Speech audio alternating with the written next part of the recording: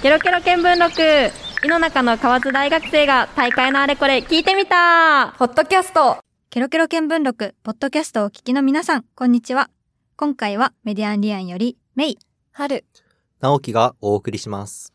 はい。というわけで、えー9月放送に出演した3人ですが、今回は、異色の対決、サガン鳥栖対広島カープ in 福岡というテーマで、もうテーマめちゃくちゃなんですけど、やっていきたいと思います。よろしくお願いします。お願いしお願いしま。ますまあ、どういうことか、一回説明しますと、そうですね。はい。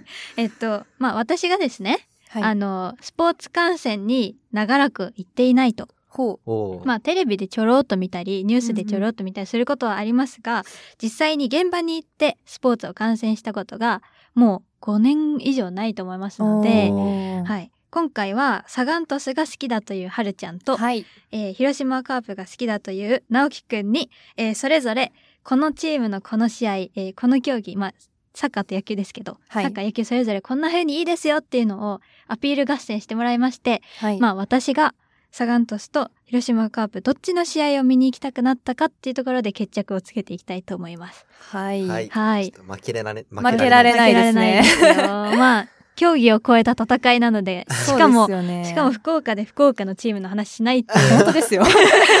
佐賀県と広島の。そう、まあそれぞれ出身がね、佐賀と広島なのはいでっていう感じですが、はい、楽しくやっていきたいと思います。はいどうします？どっちからまずアピールします？いや、もう私はどちらでも。何ですかどういう どっちもいいですか？じゃあ、じゃんけんで勝った方から。いけますか。はい。最初はグー、じゃんけんぽい。あ、勝ちました。じゃあ、はるちゃんからはい。お願いします。わかりました。いきますよ。はい。用これは意したと。はい。これはえサッカーっていうのサガン鳥栖の？もうどっちのアピールもしてどちらでもね私が見に行く、見に行きたくなったらそれでいい。はい、わかりました。うわ、なんか宮川さんメモ取る準備してるんですけど。めっちゃ書いてきて書るじゃんいてますよ。まとめようと思って書いてきます。しかも右腕には？ちょっとラジオで伝わらないのが残念ですけど、サガン鳥栖のリストバンドをつけて、もう勝つ気満々でやってますよ。はいはい、それでは行きます。はい。とまず、まあ、メイ先輩あんまり行ったことがサッカー観戦というかうん行ったことがないということで、うんうんまずその行くまでがちょっと不安じゃないですか。そうね。何が起きてるんだろうって感じはあるそうですよね。。まあ福岡にお住まいということでそこから、はい。まあサガン鳥栖のスタジアムに行くと、うんうん。うんまず一つ目のアピールポイントはサガン鳥栖のスタジアムアクセスがめちゃくちゃいいです。おー。サガン鳥栖の、うん。えまあ、駅前不動産スタジアムっていうスタジアムがあるんですが、うんうんうん。文字通り駅前。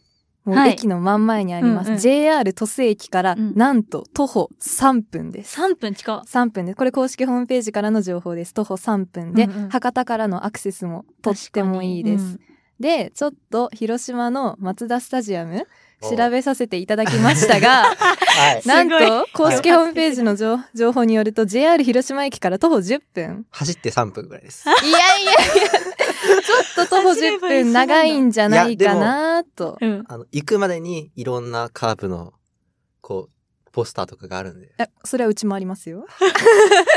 まあおおあいこですねまあそう、おワイコですね。まあまあまあ。まあ、このその徒歩3分っていうアクセスの良さがうん一つ目です。で、二つ目のアピールポイントなんですけど、まあサッカーはあんまり見たことがないっていう人って、そのまあサッカーのゲームももちろん楽しんでほしいんですけど、それ以外のことも楽しんでほしいです。もうで、そこでおすすめするのがスタジアムグルメです。グルメ、あ、いいですね。はいグルメいいですよね。でとても、まあこれは魅力的なものがたくさんあるんですが、うんなんとですね、最近、モバイルオーダーなる制度が導入されました。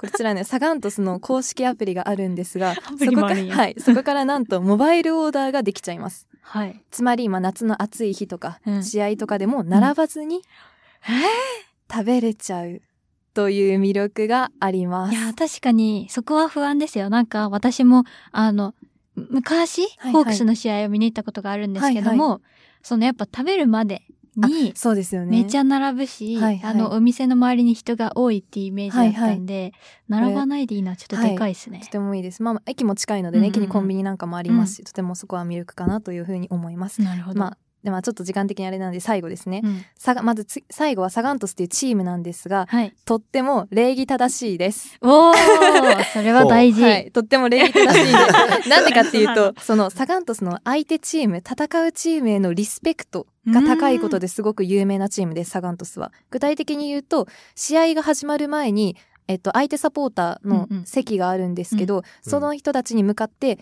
と、サガン鳥栖のサポーター全員で立ち上がって拍手をするっていう。ようこそ、ようこそ来てくれたねっていう意味を込めて、まあ、なんだろう、まあ、拍手をするっていう文化があります。あとは、えっと、鳥栖に来てくれた相手サポータうん。ーに、その佐賀県のお菓子へ。を配布するっていう、えー、ええまあ、手厚すぎ。っていう、はい、なんですよ。っていうのがあります。っていうこの礼儀正しさっていうのは、あんまり他のチームにはないうん。サガン鳥栖のいいところかなというふうに思います。他にもいっぱいいろいろありますが、この辺にしときます。おー、なるほど。すごいですね。熱がすごいですよ。はい。本編より喋ってるんじゃないかなって感じです。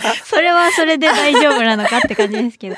あ確かに人柄とかは、はいその競技に詳しくなくても、はい誰でも感じられるところですそうです、からそう、です。大きいですね、はいちょっとだいぶ心打たれましたけどお、やったー。宮川さんどうです？勝ていやそうちょっと、いや、勝てます。大丈夫です。あ、そうなんだ。勝てます。本当かな じゃあ早速ですが、じゃあ広島カープの方からお願いします。そうですね。はい。まあ、野球とカープにちょっと分けようかなと思うんですけど、まあ、うんうんはいまずちょっと野球の観戦のいいところということで、うんサッカーは多分90分、まあ、うんうん。えー前後半うん15分の休憩がありますけど、ずっと多分応援していて、うんいつ点入るかが分かんない状況だと思うんですよ。まあ確かに。そうですんなのでまあ、こう一気に熱を持って応援できるっていうのもあると思うんですけど、うんうん野球の場合は3、4時間ぐらいあったりするので、うんうん。結構応援もメインなんですけど、うん。友達と喋ったり、っていうのが結構楽しかったりします。僕も応援行った時、まあ家族だったり、うんうん。友達とかと行く行ったりするんですけど、うんうん。結構試合もメインだけど、うん。こう、喋ったりっていうのが思い出になるかな。ああ、なるほどね思いま。その行くこと自体が一日通して楽しいっていうことね。試合だけじゃなくて。結構うんうん一日通して楽しめるんじゃないかなと思ああ、っていて。なるほど。で、グルメで言えば確かにちょっと並ぶんですよね。まあ、そうう、んそうですよね。並ぶんですけど、野球の場合は、あの、裏と表があるんで、ああの、多分攻撃側じゃない時あ。はう、ん行っても、まあ多分大丈夫だろうと思ったら、うんうんうん行って帰ってきたら、まあ多分ちょうどいいぐらいになってると思うんで、なるほどねそこは心配しなくて大丈夫じゃないかなと。なるほど。そこまでこう、う心配するほど並ばないと。最近は並んでない感じがする。するって言っときます。ちょっと苦しい。苦しい。ちょっと、ちょっと苦しい感じが。やっぱりうん。人は結構多いですけど、うんうんうんん。そうですね。まあでもそれもまた楽しさの一つだよね。うんうん。で、カープ、うん。球団の特徴、まあ、他球団に混じって応援したことがないんで、うんうん。他球団もそうかもしれないですけど、うん。カープやっぱり、こう、うん地元の球団ということで、うん。周りとやっ確ぱり結構、知らない人と一緒に楽しめるんですよね。うん。点が入った時とか、あの、鳴り物があると思うんですけどなるほ、うんうん。それをもう、周りの人とこう、あ鳴らし合ってーその楽しさもあと、僕が一回友達と行った時は、あの、隣に座座ってた、なんか、おじいちゃんうん。が、なんか、これあげるよとか言って、うんなんか、たこ焼きとか、たこ焼き？なんで？なんか飲み物とかはなぜか持ってきてくれたりってすいう ごい。経験がありました。なんか、アメちゃんとかじゃないの？たこ焼き出てきちゃうの？なたこ焼きなのなんかすごいなんか、周りの人と結構仲良くなれたりするのうがん。いいんじゃないかなと思います。なるほど。それもいいですね。私なんか、カープ、まあ、全然知らないですけど、イメージとして確かにいろいろある球団の中でも、すごい地元愛が強そうなイメージがある。確かに。本当ですか、うん。確かにで。も確かに、僕も、なんでカープが好きになったかって言われたうんうんら結構困って、っていうのも、みんな好きなんで、そっか。染められていくんです。もう遺伝子レベルで。まあ家族みんな好きだし、うん小小学校行ったらみんうんなカープの野球をかぶってるし、そうなわ、羨ましい。で、CM をつけたらカープだし、街に出たらカープだし、スまあーパーに行っても赤いものがたくさんあるみたいな感じで。すごいな。へー確かに、でもそこは、野球の、野球という競技自体の強さでもあるよね。その日本の中での、確かに。やっぱりこう、まだまだ野球熱のつ、なんかなんていうかそう、なんですよね野球が好きな人って野球に対する愛強くない？めちゃくちゃ。強いです。そうですね。確かにい。や、でもサッカーも、あ強いはい、私みたいなもうなんかサガン鳥栖しか見てませんみたいな人もいるので、うんうんまあ、熱はね、ありますよ。うんそれも熱がそんな好きっていう感じじゃなくても、うんうんまあ友達とちょっと喋りに行ったりっていう感じで。野球観戦はできると思う。そうね。うんうん。確かにそのずっと応援めっちゃ頑張らなきゃっていうよりももしかしたら落ち着いて喋りながら楽しく見れる方が楽しいのかも。とかも。楽しいですよ。やばい、迷うな、これは。そうですね。えー、ちょっとなんかもうちょっと、こう、あと一言ずつぐらいアピールありません？最後の決めて。最後ですか、うん。そう、まあ、いろいろいいとこ。ろありましたけど、うんうんその中でも特に、やっぱここが一番売りですっていうところは。さっき、うんえっと、応援をまあずっとしてるわけではないっていうのがありましたけど、まあ逆に私たち、私たちも 私たちって言っちゃいますけど、サッカーはその90分間やっぱり応援をし続けるんですね。でも、その全員が例えば立ち見とかではなくて、もちろん座って何か食べながらとかうん観戦されてる方もいるんですよね。で、やっぱりその選手がずっとずっと走ってる、うん野球と違ってずっと走ってる、野 走ってるので ずっといや野球も選手も頑張ってるのも分かりますけど、ずっと走ってるので私たちもそれを応援してあげよう後押ししてあげようっていう気持ちがとても強くて、もうずっとジャンプし、えっと、ホームサポーターっていうその立ち見のうん人たちはずっと立って応援歌を歌い続けてジャンプして、うんうん。まあ、私先日それで今ぜあの筋肉痛ですけど ジャンプしてっていうそのなんか一体感っていうのがやっぱり野球よりりサッカーの方が強いんじゃないのかななるほどというところがアピールポイントです。それに対してどうですか？いや、カープというか野球のいいところは、うん。こう、日常で楽しめるっていうところかな、お。思っていて。うん。ほやっぱり試合数が多かったり、まあ広島に行ったらカープで溢れていたり、うん。やっぱそれこそ周りにもいっぱいファンがいたりっていうので、周りの人と話のネタになったりだとか、あーなるほどうね。んあとはまあ応援に行った、スタジアムに観戦しに行った時も、うん結構応援歌とかうんううんんうんもあもちろんあるんですけど、こういろんな催し物があったりとかで、うんうん結構楽しめるっていうのがなるほどね。キーなんじゃないかなと思ってのます。難しいですね。どっちもいい。なんか、それぞれやっぱこう、カラーが違うし、うん。だし、なんかこう、そもそもこう、二人がこんな楽しそうに話してる時点で、もうどっちも行きたいんだけど、やっぱり、そこは、まあ、ホークスの試合行くかな。お。えよし。ー、よしなんですか？いやま野球野球にまずは興味持ってもらって、えか、うーん、まあでもどうしようかな。いやでも、近さで言うと、鳥栖なんだよ。。そうですすぐ行けるから。いやでも、あの、まずはソフトバンクの試合に行ってもらって、そこからまあパリーグとセリーグ違うんで、まあセリーグはカープということで。ああ、なるほどねじ。ゃあ、ホークスとサガン鳥栖に行きましょう。あ、そうそうそう。まずいまずい。いやいや、もうどっちもいい。まあ、ただ、そうね、えっと、アピールの強さで、まあ、はい今回どっちに行きたいか判断させてもらうとすると、はい。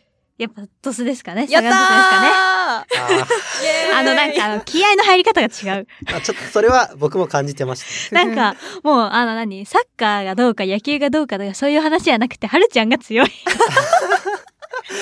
はいやった。まあうんやったぜ。まあ僕は熱烈なカープファンかと言われたら、ちょっと、まあ、修行の途中かもしちょっとれませんね。途中かもしれないですね。あ、じゃあ、うん今回は私の愛が勝ったということで。ですね。ちょっと、まあ、こういうこの愛の強い方が多いチームなんじゃないかと想定して、はい。